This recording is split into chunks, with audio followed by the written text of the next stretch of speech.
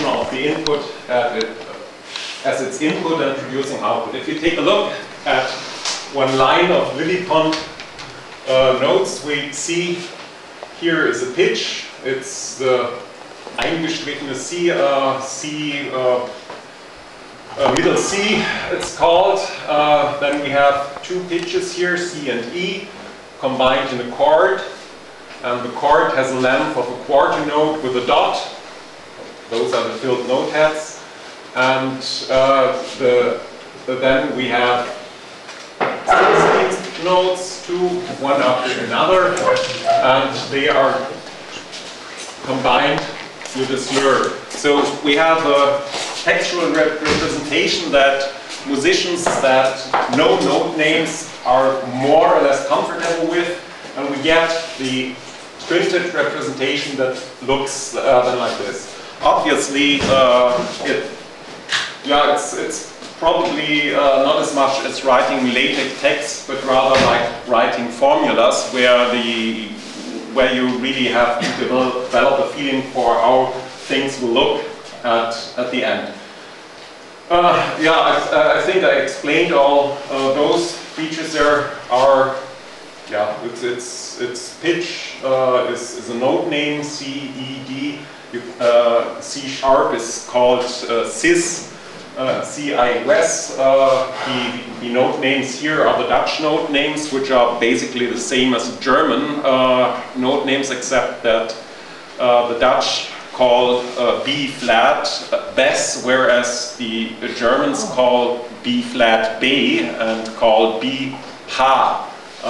and so, so there is a slight difference in names, but uh, you wouldn't be able to tell that these are the German ones. There are also uh, other uh, note name languages, but uh, let's not talk about them. If we take a look uh, at how Scheme, which is the internal language or sort of the internal language of uh, LilyPond represents the stuff, uh, then it has one make music call of sequential music. Sequential music are the uh, braces here which uh, say, okay, play this one after another, not at the same time.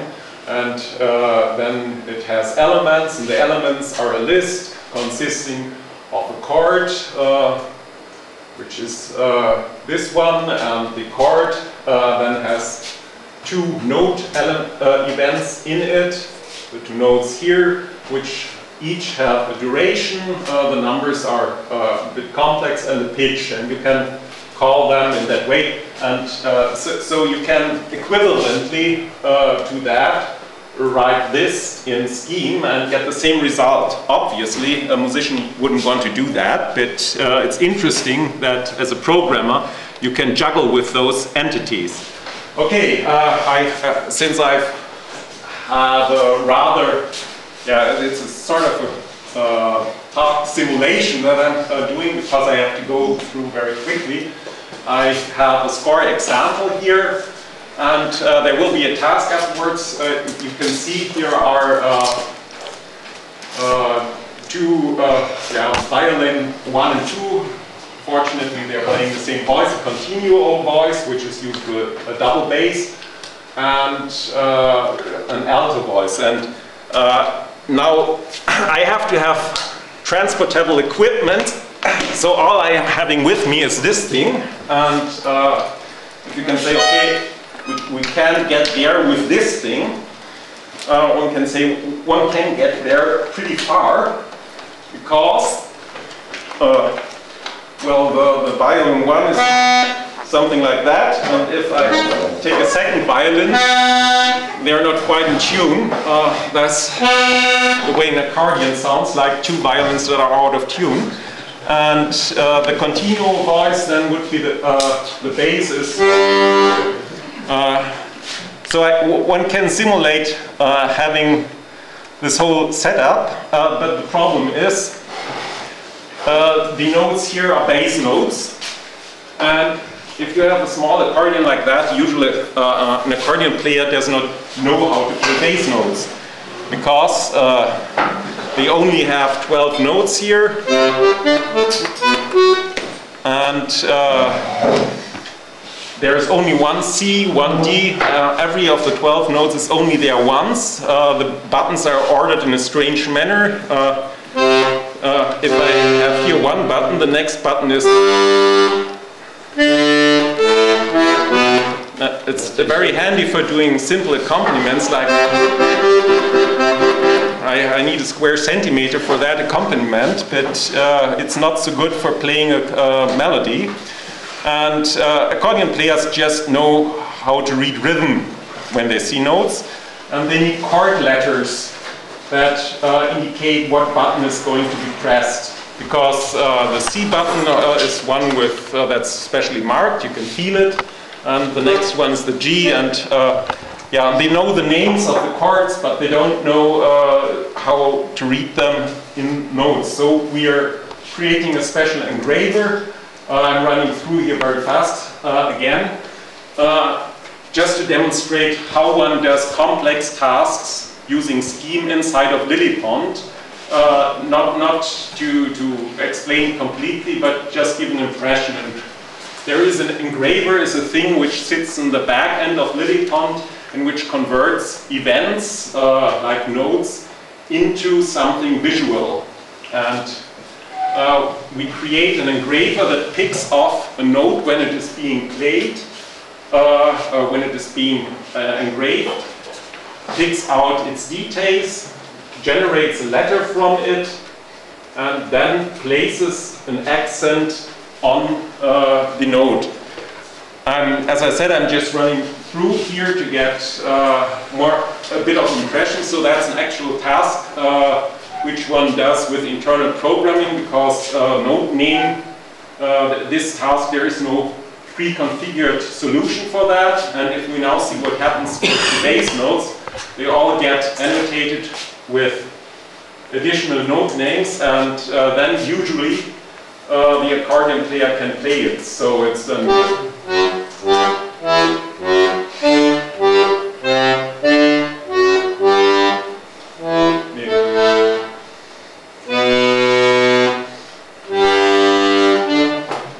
something like that. And uh, uh, so, so if we put it back in here, we, we can indeed see uh, there are playable notes coming out.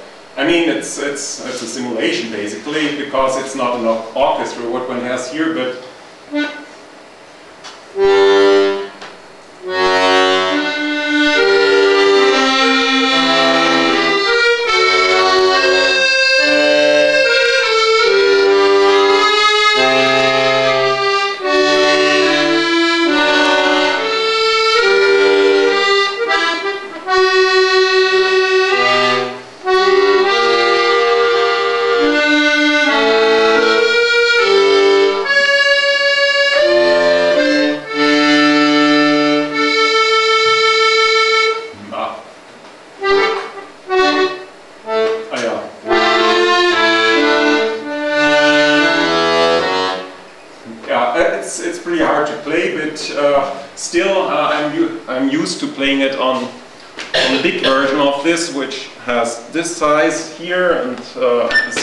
there, and which actually has uh, single buttons for playing it, um, where I don't have to use the chord buttons. So, uh, yeah, I, I mean, uh, I can try to, to get to the intro passage to get.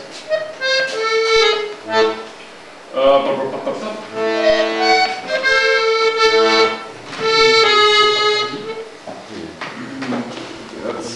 wrong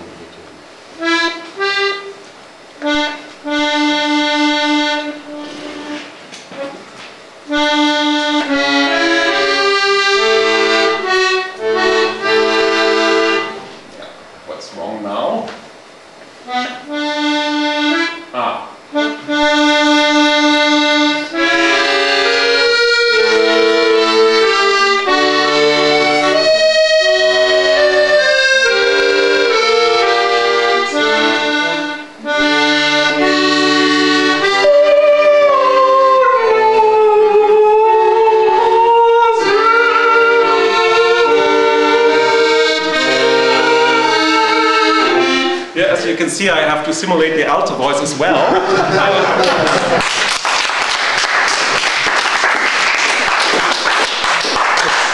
it's the best one can do with, with that sort of equipment. So that was the practical application, and uh, now we're coming more into the details. How does this sort of integration that LilyPond has with its own extension language, namely Scheme, uh, compared to that we have with LuaTeX, which has Lua as its extension, uh, extension language.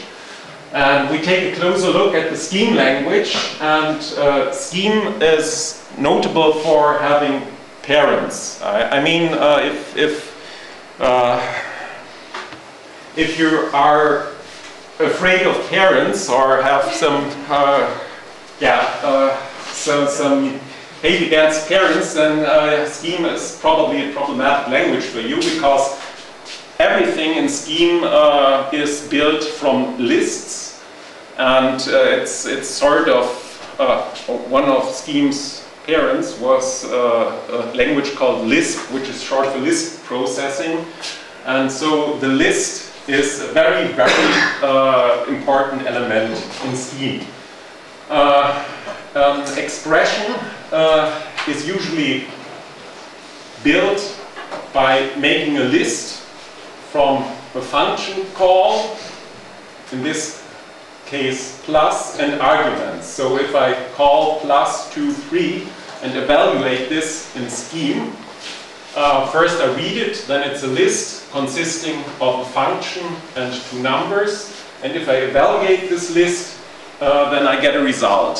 So that's the 5. Uh, Lisp also has macros, and uh, macros are a very simple concept, uh, like we uh, have, I mean, you know, probably languages with preprocessor, like C has as its preprocessor a special program that does juggling with lexical entities before you start the actual compiler. And uh, has its mouth as sort of a preprocessor which it starts before doing anything serious. So Lisp has macros and uh, those are actually very simple. They are just the same as normal functions. The only difference is uh, macros get their arguments unevaluated and uh, are free to do juggle with them before they are evaluated and whatever macro returns is then afterwards evaluated.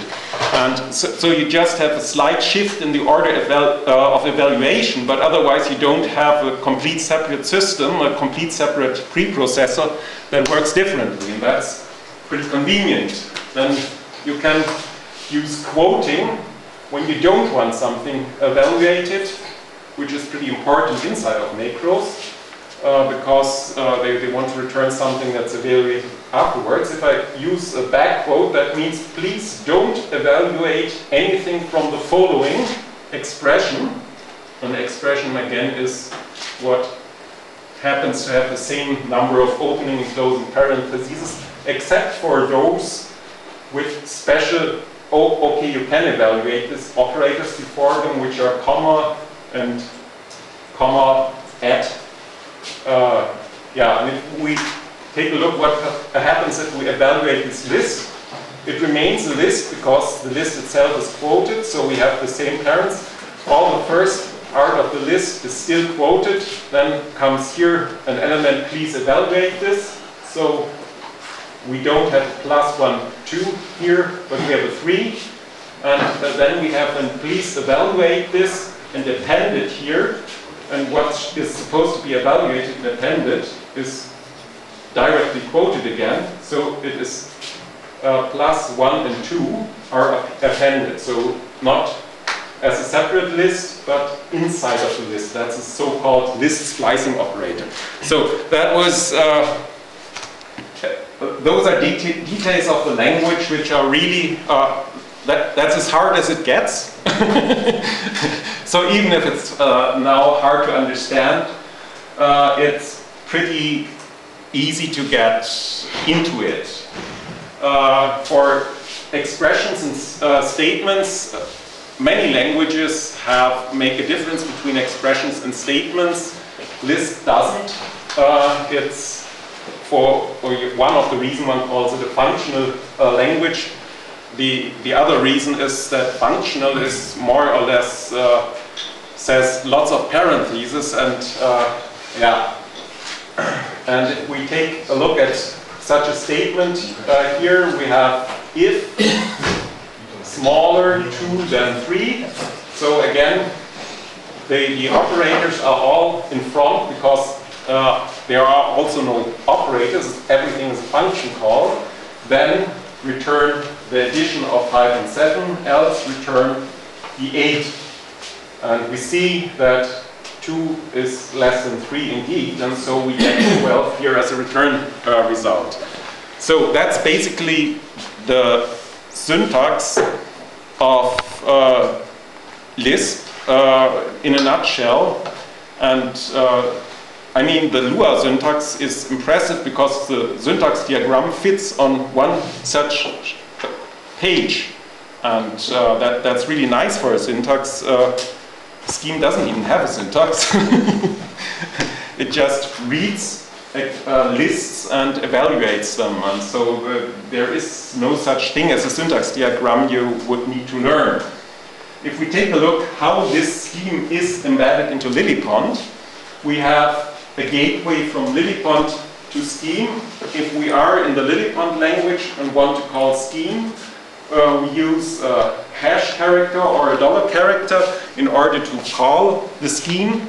Uh, this character is the, uh, I'll demonstrate this soon, and if we are in scheme, oh, we want back into LilyPond, uh, that's a problem if you're doing the slides too fast. Uh, then we have the hash brace operator, inside of which uh, we can write things in LilyPond syntax, and they are then interpreted or returned into scheme. I can probably, uh, that's uh, probably uh, uh, a note in between, just well, because I have it on screen, is LilyPond used to use TeX as its typesetting backend, but it does not uh, anymore, so there is no reason not to be able to work with Unicode. As you can see here, this is the Japanese documentation of LilyPond. there is no Polish actually. a translator would obviously have, yeah, be useful for a lot of people if somebody decided to work on Polish translations. Uh, there's an English version as well, so you don't need, uh, need here. Uh, on a German version, but the German version is lagging, I think, about three months behind by now.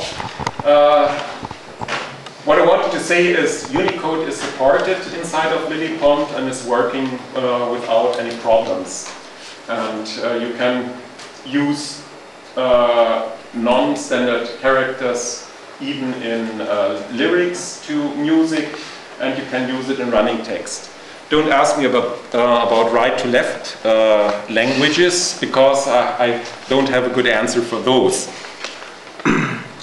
but uh, they are pretty hard to do in music anyway. I think the, what the Hebrews sometimes do, either you do every syllable from right to left, but typeset the music left to right, which is takes getting used to, or they just mirror the, the complete uh, uh, music. So they also write the music with uh, mirrored symbols from right to, to, left and then put the lyrics below. But that LilyPond can't do yet. It's on the list of things people want to have at some point of day, so uh, point of time. Okay. What is translation of LilyPond? What? Okay, that was the translated documentation, but which parts of LilyPond get translated? Uh, trans uh, the manuals get a translation. Uh, all the uh, input and output from the uh, command console get translated so that if you're uh, having your... Sorry, this is an error, like... Yeah, yeah, right. Uh, all those get translated as well, uh, which doesn't necessarily mean, uh, I, I, mean, uh, translated error messages make me bonkers, so my system is set up in English, but uh, basically it is completely uh, internationalized. But the when one writes music, uh, are there like some comments? I, I forgot most of them. But like, um, does user enter Japanese? I wasn't sure what that was, but is that like back like in backslash begin document, the equivalent of that, is this also translated? I don't know how Oh, it is in uh, really uh, what you mean the command names? No, the command names stay the same, uh, but uh, yeah, the command names stay in English. They are not translated. Uh, what you can uh, do is change the note names. There are, I I think, uh, Dutch, German, Italian, uh, uh, Italian French. I think are the same, Yeah. possibly. Um, Yeah. and uh, and English note names as well. And so uh, you have to switch them explicitly. Uh, they are not switched uh, depending on your uh, lo- locality. Yeah. Yeah. So so generally. LilyPond uh, does not look at the locale for anything uh, it uses for interpreting its files, uh, but it uh, looks at the locale for talking on the terminal. And uh, I Just would manual. rather ask you not, not to go on with, with the things which uh, sidetrack you. Ah, yeah, yeah. th- th- those were merely the important things. Uh, uh, I should get back to the interesting ones. Um, so if uh, if I open li- a LilyPond interpreter and I I can ask it to oh, probably nobody can read that, right? Um, how does one? Yep. Something better or is this a... Ah, I, I can give it another kick and then... okay. Uh, I get now a command line interpreter and I'm, I'm now inside of LilyPond and I can ask it what would a C look like? And it returns then a printed representation of, uh, of the pitch that's in there. And I can also take a look at what uh, yeah, so, the sort of input I had before C4 G and uh, yeah now it gets less handy there's a special display music operator which again converts this into a more readable form but basically you you are right uh, in the engine there and you can test what does an expression look like uh, what is it so that was the, the gateway from Scheme to LilyPond. Uh, both gateways, as, as one has seen, pass values. You, you can, if you have a scheme expression inside of LilyPond, you can use its value in your LilyPond expression and vice versa. Uh, there are several operators. Oh, that was one too much. Yeah. And uh, with slight differences, I won't go into the details right now. And uh, I now do a sort of a heavy-handed example uh, that just shows how much I can integrate uh, the concepts of scheme with a LilyPond file. And there uh, it starts with a hash that means, okay, go into scheme, I want to define something in scheme. It defines a macro called pattern. The macro uh, returns a music function, which is a command for LilyPond. And uh, on the fly, uh, I, I, it's a functional language. So uh, the usage of this thing, which I'll explain in detail, is I say uh, a dollar, then pattern, and the pattern gets parameters, which are A, B, C, D here, and expands them into A, B, D, A, C, uh, and gets a list how these patterns should be arranged. And if I now put four patterns behind it, I see that indeed the order I get here is A, B, D, A, C, D. So the, uh, this pattern operator, I mean, often music has some sort of pattern form, uh, does just that. And now we take a look how does this strange interaction between LilyPond and Scheme actually work. And if we take a look at what happens if we are now looking inside of scheme, we have this definition of the macro and we have the call of the pattern with those parameters. So what happens when we call the macro? First step is pretty easy. We just take a look. The pattern has arguments and the result expression. The arguments are this here. The result is this. We fit this into this definition here, uh, adding sufficient quotes because those are not evaluated when pattern sees them. and so the, uh, yeah, this, this is a mechanical substitution and if we actually evaluate this expression, which is a quoted expression, we get out this. Basically everything inside that is not preceded by a comma stays. So we have the defined music function here. We have the parser location, which is black magic uh, you learn to just use and not uh, ask about. Uh, then we have the splicing, list splicing operator here, which splices the ABCD into this place. Then we have a call of make list, which takes a look at how many parameters were there in our list and makes a list with the length and the content uh, lie doppelpunkt music question mark uh, which is this list which appears here. So what is that supposed to be? The define music function uh, defines a function we can use inside of LilyPond, not in Scheme, but really inside of LilyPond, uh, and uh, which needs to know, because LilyPond is a language with a syntax, what kind of arguments will it be getting. And so for the four arguments, we have to say every argument satisfies the predicate, it's a music expression because this function gets four music expressions. Okay, so it gets those four music expressions, then we get the list spliced in here. At uh, that point of time, the parameter uh, result gets spliced into this expression, and here's the end of the hash mark. And if we take a look uh, what will happen when this gets inter interpreted, this part, uh, then we have here the list with six elements coming from there and they are spliced back into LilyPond so that we have this six arguments, uh, the six instances of the four function arguments which are getting into LilyPond and interpreted there.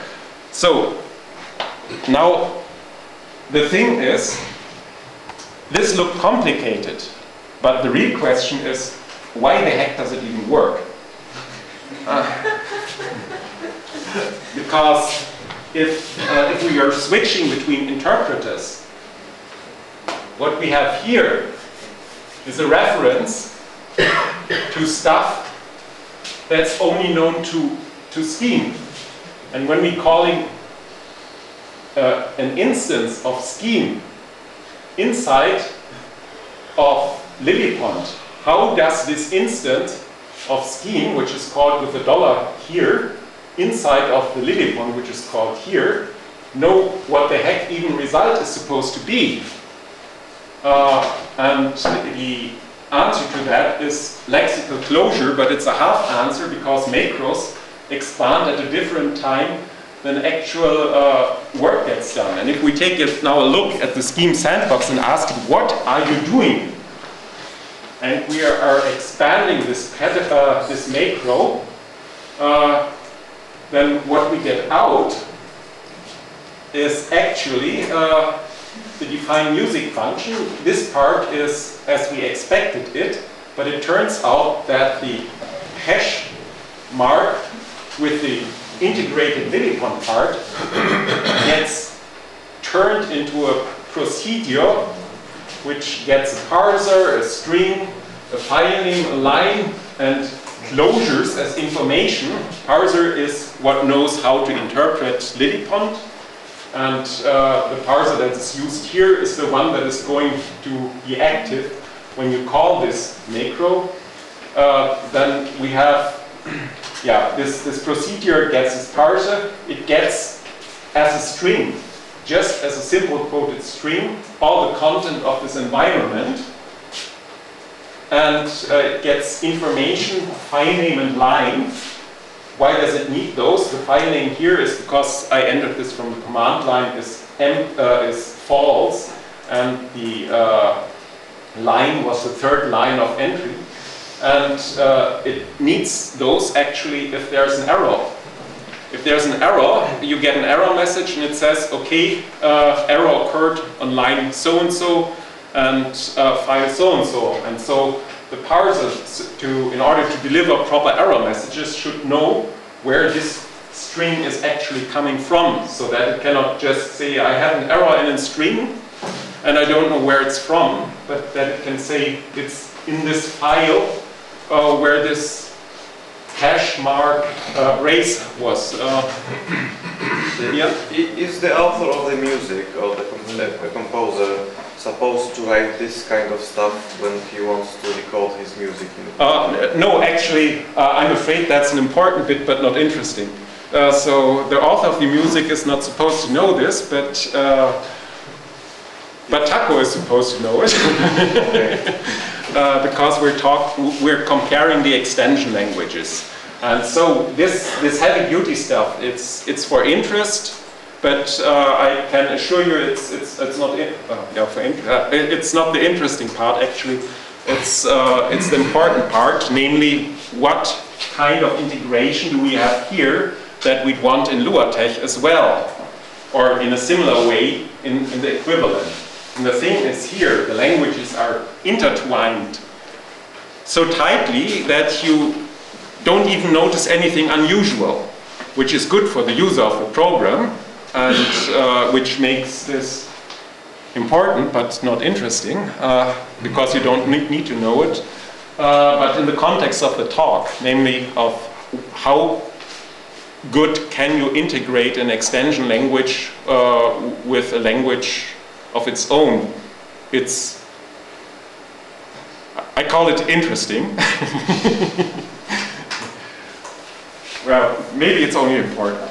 Um, and if we take a look at, uh, okay, the, so it, it's clear that there was hap uh, something happening behind the scenes. And if we're taking now a look at the primitives, the actual primitives that are doing this kind of thing, there are some, stu uh, some stuff written in C++ uh, that can parse the string expression and gets the file name and the line, the information that we just saw uh, a minute ago, and there is something that can clone a parser and provide it with information about variables that should be active when a scheme is being called.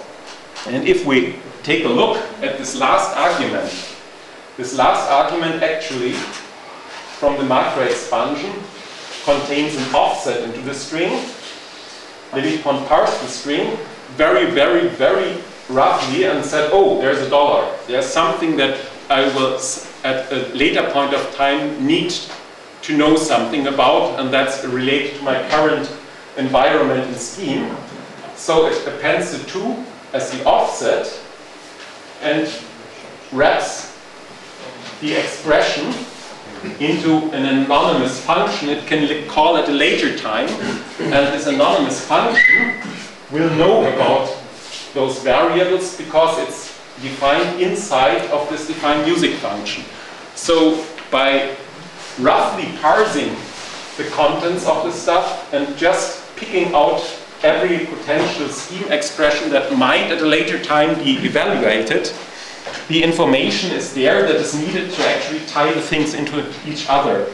And that was when you get a new parser, you can tell it, okay, I have this sort of information about embedded scheme process, uh, expressions that if you want to evaluate them, you can just call this function and it will do just what should be happening inside of scheme. If we now take a look at the integration that is offered for LuaTeX and Lua, uh, then we have, for one thing, a quite different language. TeX has different systems for macro expansion and execution. They are called mouth and stomach. then we have a primitive that's called direct Lua. Direct Lua works in the mouth. Inside of Lua, you can use tex.print uh, to spit strings back from Lua into the mouth. Uh, there is actually no command for connecting the stomach uh, with Lua, but you can define one by just wrapping your direct Lua inside of a protected macro, which means it only gets expanded as a last resort if it's protected. So if you do that, then it works more or less in the stomach and spoofs back into the mouth with tex.print if you want to. At a point of time when uh, TeX actually is ready for seeing something. There's also late Lua. Late Lua is actually not working in the stomach, but is working behind it. Uh, this anatomy it doesn't have a proper TeX name, I think. That analogy really doesn't work at all.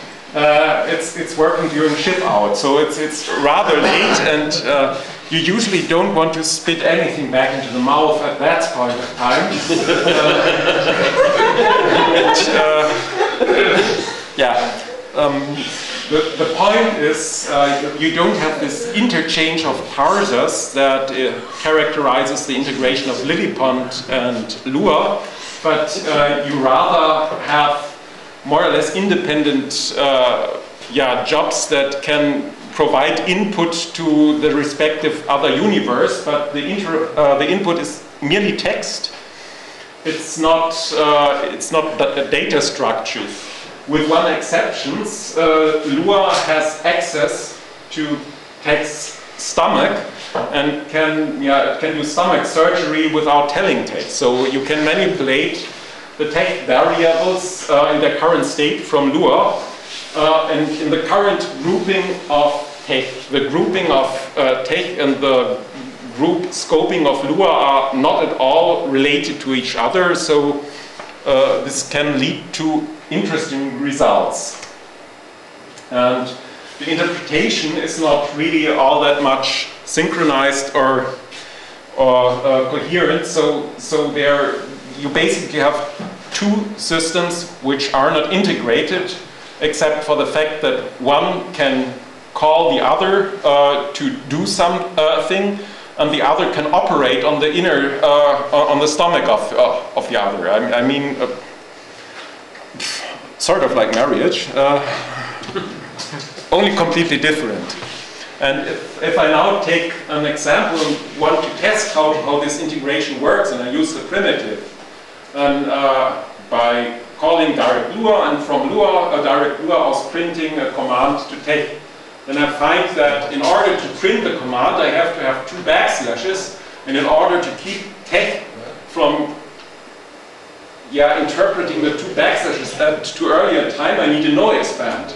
So uh, this, this combination is, uh, I actually, just to write this example, I, uh, I was about five or ten minutes I knew what the commands were, but I needed five to ten minutes to get this thing to compile and not throw any errors that were quite strange. yeah, so in summary, if we take a look at what kind of language integration we have uh, between LilyPond and Scheme, uh, then the, the, this kind of in integration that is visible to the user, who, to the person who needs to, uh, who, who, at some point of time will need to do some basic programming and uh, will get to get tasks solved.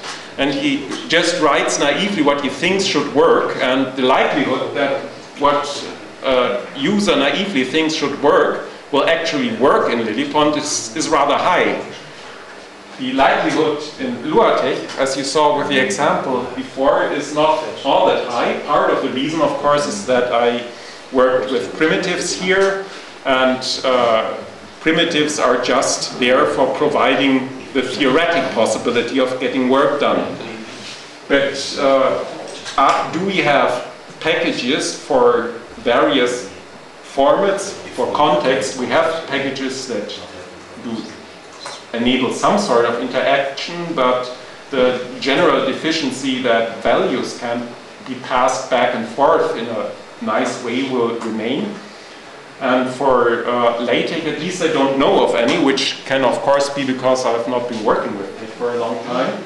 Uh, in general, if you take the LuaTeX documentation and try to figure out from it, oh, how can I make good use of LuaTeX, then you arrive at, at a dead end pretty fast. As a user which has only basic programming ca uh, capabilities, and one advantage of Lua is that it, it as a uh, language is very easy to learn. And so uh, that there is no convenient interface which saves you from uh, yeah, getting a dirty nose the first 10 times you try to achieve anything is probably a problem. And yeah, that's basically it. Uh, and so I'm probably, hopefully, still in time. Uh, Thank you very much.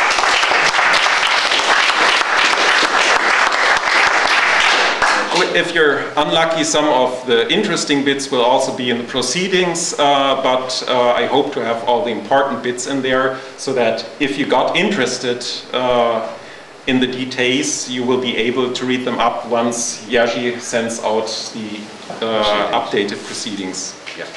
Yeah. Thank you very much. Uh, we have now lunchtime, but before you leave, uh, we would, I would uh, like to have a head, head count for those who from here intend to go to the bookbinding workshop. Who is right? One, two, three, one, three, four, five, six, seven, eight. Eight people, okay. Uh, uh, you counted me as well? Yes. Okay. So, more or less, an impression, how many? Yeah. Okay, that's, that's what we really want.